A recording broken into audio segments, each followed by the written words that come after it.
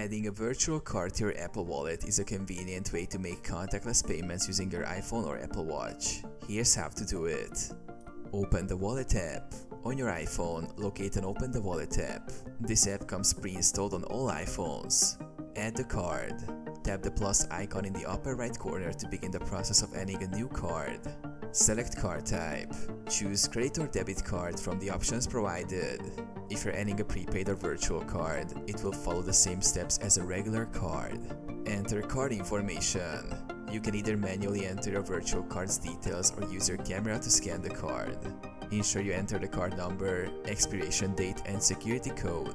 Verify your card. Depending on your card issuer, you may need to verify your card through a text message, email, or phone call. Follow the prompts to complete this step. Add to Apple Wallet. Once verified, tap next and your card will be added to Apple Wallet. You can now use it for contactless payments at participating retailers.